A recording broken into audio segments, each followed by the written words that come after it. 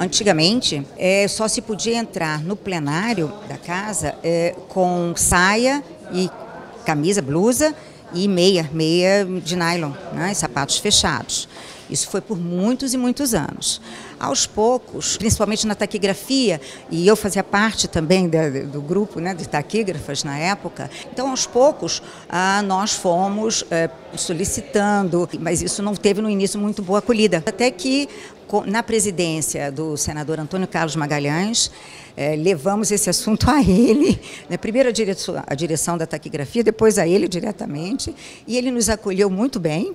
E foi preciso fazer um ato da mesa do Senado para que se pudesse ir de calça comprida, as mulheres pudessem subir ao plenário de calça comprida. Quando a gente vê as mulheres na rua lutando, gritando por alguma coisa, contra a violência, pelo empoderamento, a gente acha que é só isso, mas foi sempre uma luta, né? Então, eu me lembro muito bem dessa história da calça comprida, porque eu era dirigente sindical e eu tive que sair de um tribunal correndo para comprar uma saia, para poder entrar na audiência. Eu era presidente do sindicato, mas não podia entrar na audiência porque estava de calça comprida.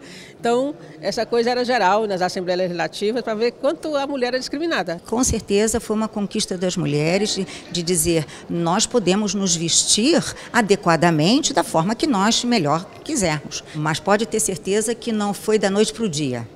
Mesmo porque antes é, havia o impedimento de até mulheres grávidas irem ao plenário.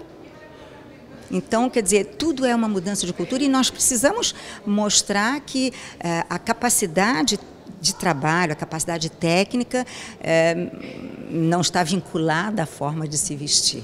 Eu preferia celebrar hoje 20 anos de mulheres estarem ocupando 20% do Senado Federal.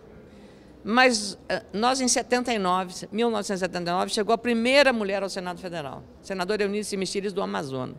Hoje nós temos 13 senadoras num conjunto de 81 senadores. É alguma coisa para comemorar? Acho que é, porque se só em 79 tínhamos a primeira senadora. Eu prefiro muito mais esse protagonismo das mulheres na composição da mesa, na presidência das comissões temáticas do Senado Federal, tomando decisões do que simplesmente vestindo uma roupa.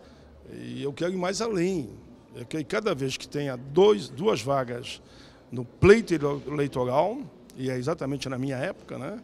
uma vaga de uma mulher e a outra é de um homem. Aí sim nós vamos construindo a igualdade é, no princípio de direitos e deveres. Eu tenho certeza de que é preciso mudar a lei eleitoral a respeito da, de candidaturas femininas de é, respaldo a essas candidaturas para que elas possam ser efetivadas como na eleição. Mas é uma luta sempre, né? Eu sei que aqui no Senado também foi uma luta das mulheres, das taquígrafas, que também, todas as mulheres do Senado, tinha a história da taquigrafia, a mulher grávida também não, não entrar no plenário, não era isso? Então, quer dizer, se a gente comparar, a gente vê que tem, teve avanço. Agora, são, são coisas tão pequenas que a gente que não devia ter, preciso uma luta, né? Para ver como é a vida da mulher no Brasil e no mundo. Toda pequena coisa que quer avançar é uma luta. Né? Nós estamos lutando aí agora pela participação dos conselhos de administração das empresas, né? pelo empoderamento, pelos espaços na política, né? contra a violência que está graçando, não é só o Brasil também, o mundo inteiro, as mulheres estão sendo violentadas.